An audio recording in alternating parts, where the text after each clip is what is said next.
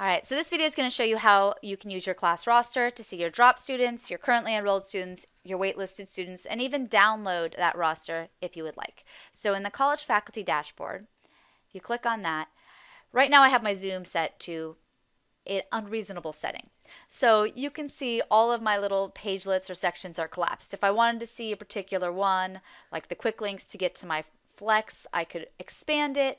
Um, if I want to go to my schedule, I can see it here, and then I can click on my course numbers. It is so large that I can't even see my whole course number, so I'm going to decrease the zoom on this page back to 100%. So if you click on a class, I'm going to choose one that has a wait list. You can go to the class roster. Within the class roster, the thing that automatically shows up is your enrolled students. If you want to change this, you can see your students who have dropped. You can see all of your students, which will intermix your dropped and your enrolled students. The nice thing is that the drop students are there. It even has your waitlisted students as well, so you can see everybody here.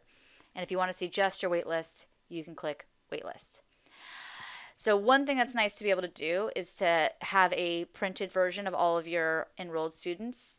So if you go to your enrolled and you click this little Excel spreadsheet, it will download an Excel file that you can open that has all of your students' names, their IDs, and their current status.